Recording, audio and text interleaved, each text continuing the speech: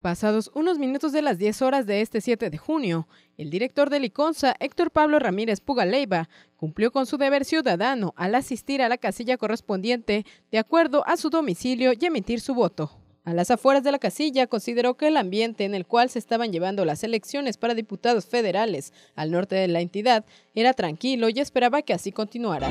Bueno, eh, el hecho de que hoy se desarrolle una, una jornada tranquila, en paz, en orden, me parece que es la exigencia de los oaxaqueños y en esto mi mejor deseo, mi mayor deseo es que en Oaxaca se vive una, un proceso electoral que permita a todos los oaxaqueños votar, emitir su sufragio y decidir en las urnas el tipo de gobierno, el tipo de representantes que queremos.